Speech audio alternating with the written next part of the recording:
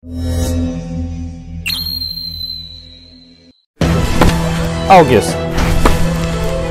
速すぎるバージョンもやってます。このぐらいのその急速さっていうか。ちょっとぶつけに行く感じでいきましょうか。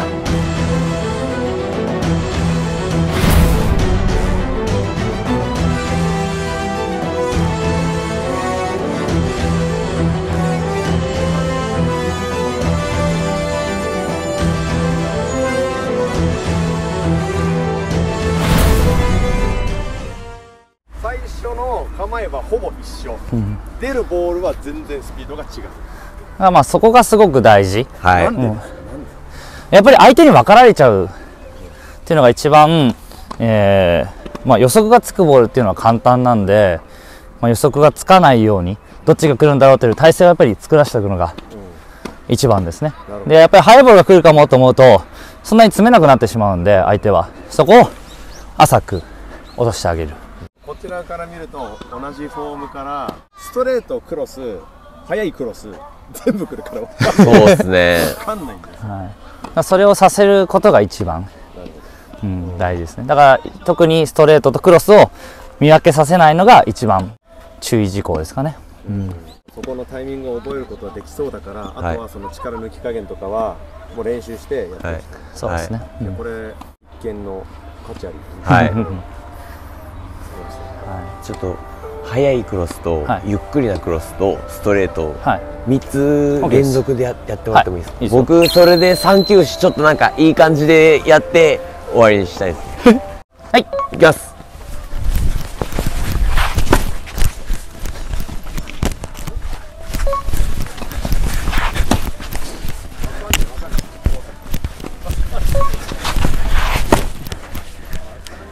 いやすごいねこー。いややばいっすね本当に。もうこのいう練習をもうひたすらやらされたんで、はい。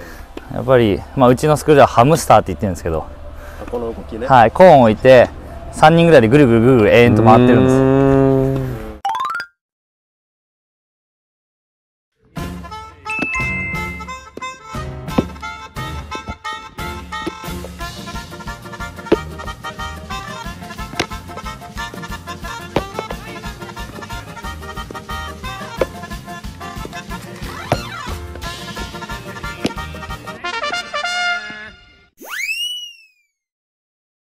からやっぱりそういう球際っていうのははい。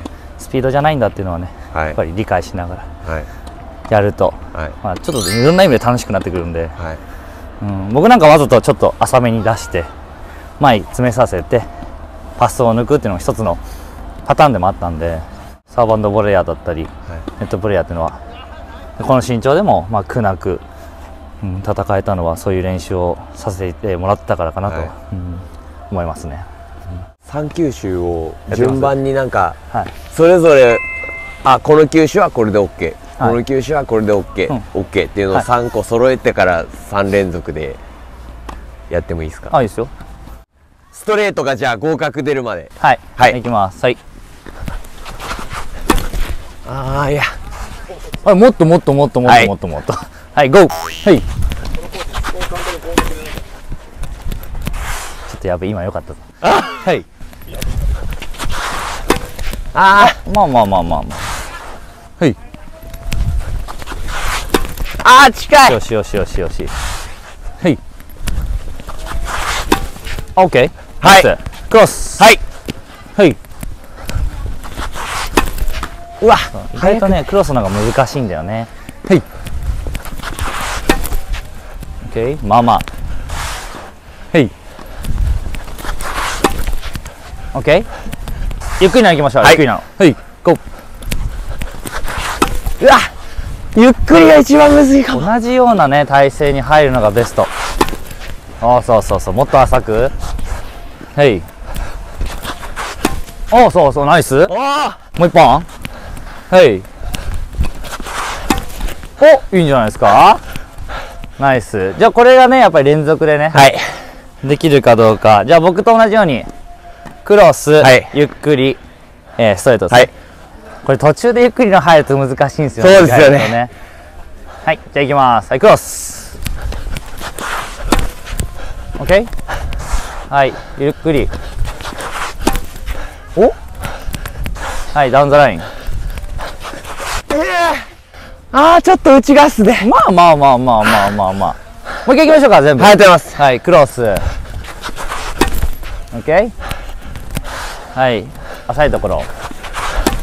おナイス。はいラスト。ストレート。OK あーありがとうございます。まあ今みたいに打ち分けられることができれば結構相手としては嫌だと思うんでで、まあ、適度にゆっくりなボールを多く見せとけばやっぱりだんだんだんだんポジションも相手変えてきて今度はストレートが抜きやすくなる。でもっと言えばじゃあ縦のロブもいけるようになるっていうのでまた選択肢が増えると思うんで、はいぜひトライし続けてください。ありがとうございます。見せてもらってイメージをこう頭の中で持った状態でやれるとすごくすっとこう あのやりやすかったですね。よかったです。もうね僕の得意なショットの一つだったのでまあ良かったんですけどまあこれがバックハンドになるとまたさらに変わってくるのでね。まあ、同じイメージを持って、はい。ぜひねトライしてみてください。はい。あお疲れ様です。まあ硬くなくてちょっとカジュアルにやろうかと思ったんですけども、はい。がっちり教えていただいて今日はいえいえ。いやなんかなんとなくこれだけ教えてってこういう打ち方でって見たかったけどやっぱりプロでもあるしプロコーチだからファンがすごい増えるよかったです、プロ目線で教えるのも大事なんだけどプロ目線からお客さん目線で教えるからもう分かりやすいんだよね、情熱もすごいいやそう言っていただいて。感じるんで、まあ僕自身がやっぱり身長なかったりいろんなコンプレックスがあってまあ僕からすると僕ができるんだからこういう皆さんだって絶対できるだろうと思うし、あのまあ、いろんなボレーのどあの動画とかねレクチャーとかやってますけどやっぱりボレーが苦手だった僕でもできるようになったこういう身長が低い選手でもパスができるようになるっていうのは絶対皆さんにもね伝えられるものだと思ってるんで、えーやっぱりこれはねいろんな人に伝えていきたいなと思いますし、うん。うん。できなかったらやっぱり教えてる方のせいなんでね。いやーまあ確かにね、はい。そうですね。まあ一人の相性があるけれども、はい。やっぱり自分は綿貫プロのテニスを知ってほしいし綿貫プロというキャラを知ってほしい、こんだけ真剣に分かりやすく教えてくれるっていうことはなかなかなくてなおかつやっぱり、まあ、もうもちろんプロうまいから当たり前なんだけど確実なショットを見せるからデモンストレーションミスしないし、そこがすごいんだなと思う、うん。いやかなり刺激になるなと。本当です。よかったです。本当に。年齢は離れてるけど本当に負けてらんないなっていうのはすごい感じました、はい。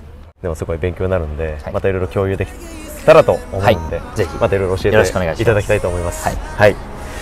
今日の、えー内容は、えーテニスウィット TV あとはマシャル TV あとはですね、えー TUP テニスアカデミーはい、さんの YouTube そちらもぜひチャンネル登録と我々の高評価よろしくお願いいたします。お願いします。はい、それでは見ていただいてありがとうございました、えー次回は来年になるかも分かりませんが、また新しい内容でい。らっしゃれたらと思うので、わかりました。今後ともよろしくお願いします。よろしくお願いします。はい。はい、今日はありがとうございました。